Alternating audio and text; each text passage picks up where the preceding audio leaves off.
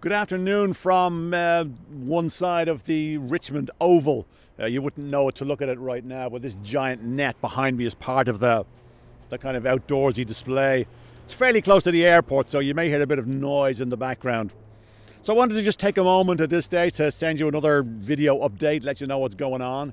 Uh, this has been a fairly important week for us. I spent a bit of time yesterday uh, downtown with uh, with our friend Kevin Hamilton, He's the guy who's going to be doing sound design for us. And I got to uh, deliver off the files and then look over his shoulder for an hour while he began to work on the project. And it's the first time I've had a chance to work with a sound designer. And it's a fantastic job that he does. It's all very subtle, it's all very behind the scenes, it's not too showy, but it just helps to uh, enhance things slightly, to, to sweeten things up. There was one scene that we that, that he was working on where I, I crossed the street to go into a building in Victoria and we hadn't recorded any of, of, of, my footsteps as I was actually doing that. So Kevin just went in and just added a couple of those. And as I opened the door, he just put a little sort of a, a little sort of a metallic creak to just match me uh, opening the door. Nothing, as I said, terribly showy. Um, you, you, would you would hardly notice it's there, but there's just enough of it to just help to uh, enhance things slightly. So so so that's great. Once Kevin's done his thing, he will then fire all of that over to his wife Leslie, who's who's a composer, and she's going to score the film uh, for me. I've managed to acquire the rights to a couple of pieces of music, which I'm really delighted about.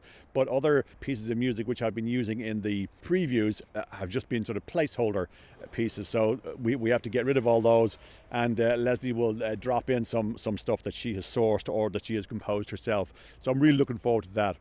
Uh, my friend John Montague is designing the uh, the invitations, uh, and I also asked him if he would design a poster for me. I have this grandiose idea, I suppose, about putting a few posters here and there to uh, to advertise the film, and uh, this is, this is what he came up with. I think it's a fantastic design. I love what designers do. They just have a different way of looking at the world and to just see what John did with the notion of the word countdown and that little piece in there where he has what looks like a sort of a stylized clock, but it's also got a little cross in there. I think that's just a beautiful and inspired uh, piece of work. So uh, that's that's just fantastic. But that's what that's what that's what guys like John do. They just have this ability to see uh, in a way that I can't. I'm very pleased with the progress that we're making, and uh, I'm really looking forward to, or we're really looking forward to showing you the, the, the fruits of, of our labour and your labour uh, in the sense that you helped us to get this done. We're looking forward to showing all of that to you on June the 2nd. So we will talk to you, I'm sure, between now and then. Thanks again for all your help. Bye now.